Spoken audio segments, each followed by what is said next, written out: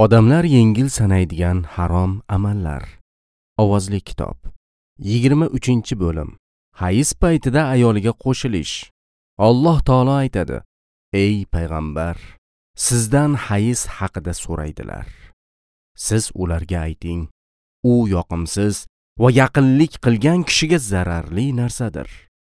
Hayiz paytida to qon to'xtagunicha ayollaringizga qo'shilishdan saqlaning. Baqara surasi 222 oyat.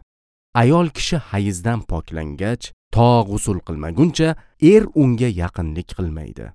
Qon to'xtab g'usul qilganlaridan so'ng Alloh halol qilgan o'ringa qo'shilinglar. Baqara surasi 222 oyat. Quyidagi hadis bu gunohning naqadar og'ir ekaniga dalolat qiladi.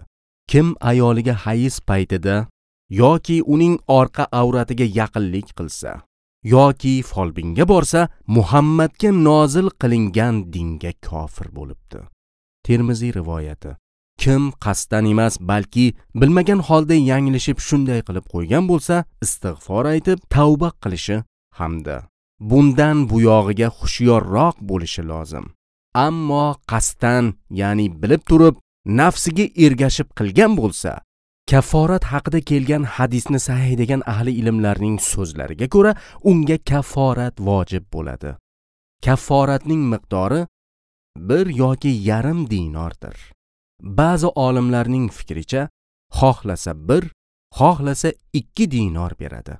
Boshqa bir guruh ulamolarning fikricha hayzning avvalida ya'ni qon ko'pligida qo'shilsa bir dinor. Hayzning oxirida ya'ni qon kamayganida yoki g'usul qilishdan avval qo'shilsa yarim dinor kafforat beradi. Bir dinor muomaladagi o'lchovga ko'ra to'rt butun yigirma besh gramm tillaga teng bo'ladi. Demak shuncha miqdorda oltin yoki uning qiymatini sadaqa qiladi.